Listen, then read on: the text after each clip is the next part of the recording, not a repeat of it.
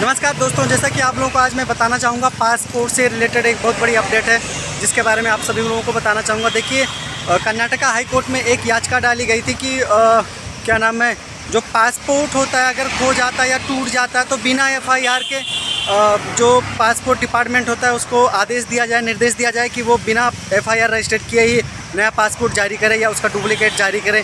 तो देखिए अगर कानून की बात करें तो देखिए जो भारतीय संविधान के अनुच्छेद 21 है उसमें हर व्यक्ति को विदेश जाने का हक है, अधिकार है।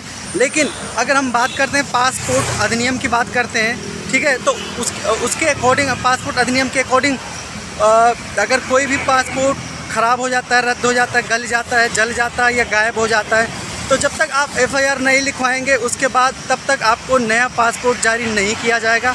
ऐसा कर्नाटका हाई कोर्ट में याचिका जो डाले गए थे, जिस पर विद्वान जस्टिस ने ऐसा निर्देश दिया और याचिका को खारिज कर दिया कि बिना एफआईआर रजिस्टर्ड किए नया पासपोर्ट जारी करने का निर्देश नहीं दिया जा सकता है, क्योंकि इससे प्रमाणित तो हो जाए एटलीस्ट कि एक्चुअल में गायब हो गया। दूसरी बात, अगर आपकी कोई भी चीज़ अगर गायब हो जाती है तो आपका ड्यूटी होता है कि आप उसका एफआईआर ज़रूर करवाएँ।